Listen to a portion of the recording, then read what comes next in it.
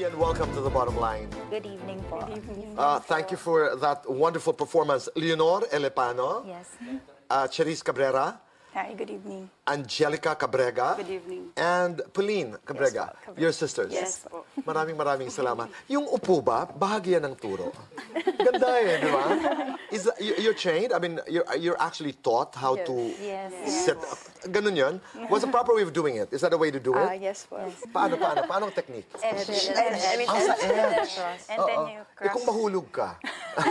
You have and to then- balance. That's why I practice. Ah, ah, and then you you create your balance. Yes. Ganda. Sino turo? Suzy? Yes. Maraming salamat sa aking kaibigang Suzy Benitez. At maraming salamat sa ating mga dancers, si uh, Leo, Ronel, Timothy, Thomas, and Vince. Yes. Thank you very much. And our musicians, Jezreel, Rogelio, Noel, Elmer, and Romel. Ano ang inyong napanalunan sa Brazil? It's the first world uh, international competition sa Brazil that we won. Ano And ito, folk dance? It's folk dance, yes. Alright.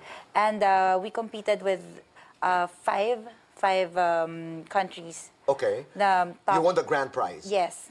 Wow. And it's, they're the top amongst different um, countries. how tough was the competition, Cherise?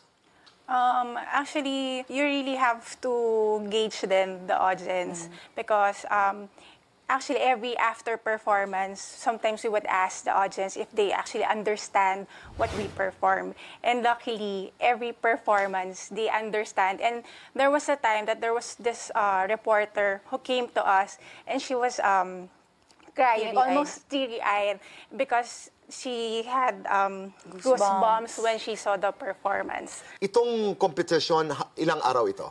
Five days. Five. Wow! Yes, five so ilang days. beses kayo sumayaw? Uh, five times.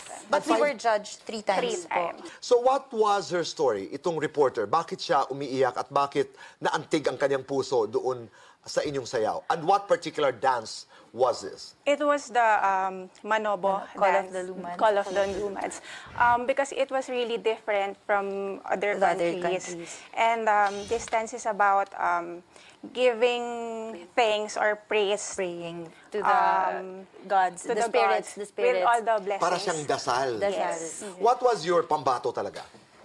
We decided with the Voyage for Love, Love and and Peace because it's our winning piece and has garnered a lot of. So what is what, what is the voyage about? Um, the it's uh, about the prince and the princess, like bidding the prince uh, goodbye, Goodbye. to fight for love, Love and, and peace. Okay. And then he returns from the the fight and from the war. ilang ilang kayong sumayaw lahat?